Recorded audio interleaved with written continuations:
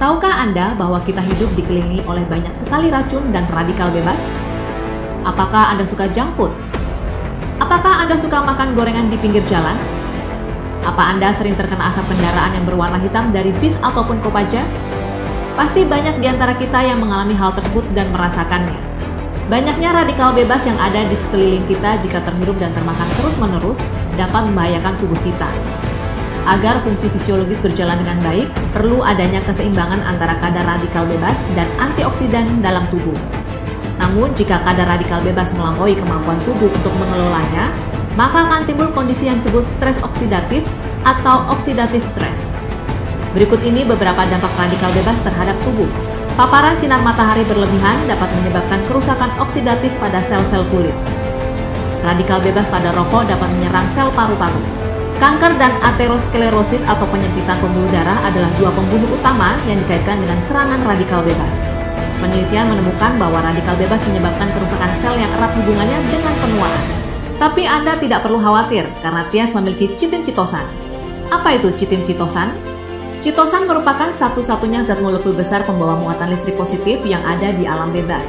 Komposisi utama dan khasiat produk. Citosan adalah serat makanan yang terdapat pada tempurung udang dan kepiting, terutama terdiri dari chitin yang sangat bermanfaat bagi tubuh manusia.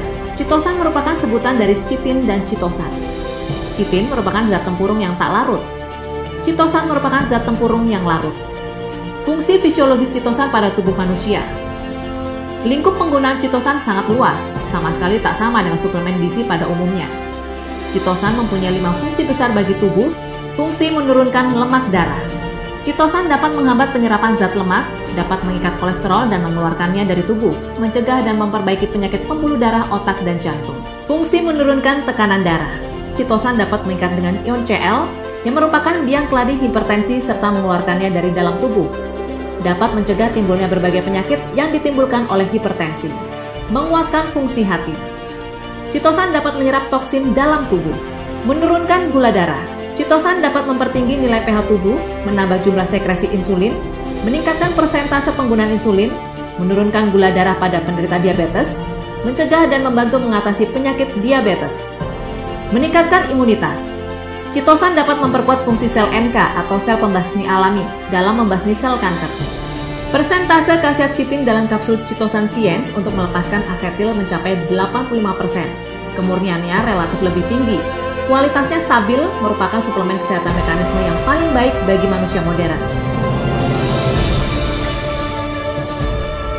Untuk membuktikan bahwa produk Ties memiliki daya antioksidan dan daya ikat radikal bebas yang baik, mari kita lakukan percobaan sederhana.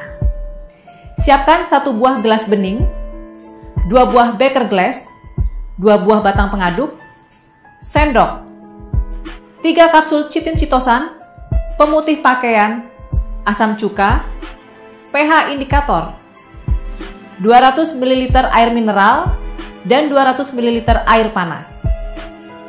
Pertama, mari kita buat larutan asam lambung dengan pH 4. Campurkan 75 ml air panas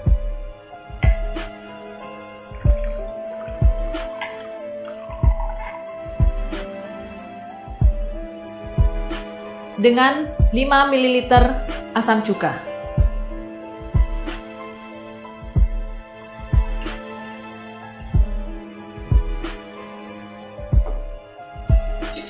Aduk dengan rata.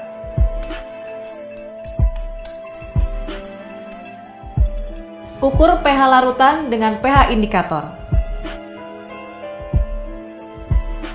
pH indikator menunjukkan nilai 3 Masukkan 3 kapsul citin citosan.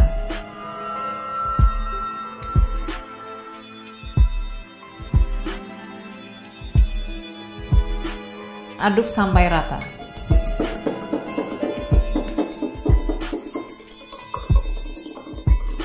Kedua, mari kita buat larutan radikal bebas dengan menambahkan air. Tuangkan 75 ml air mineral dan larutan pemutih pakaian.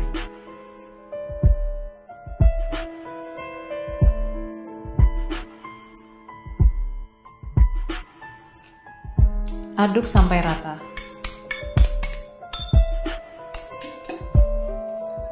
Tuangkan larutan radikal bebas ke dalam campuran asam dan citosan. Larutan akan terpisah menandakan radikal bebas telah diikat oleh citin citosan. Dari percobaan tadi, kita dapat melihat bahwa citosan dapat membantu mengikat radikal bebas dan membuangnya keluar dari tubuh kita.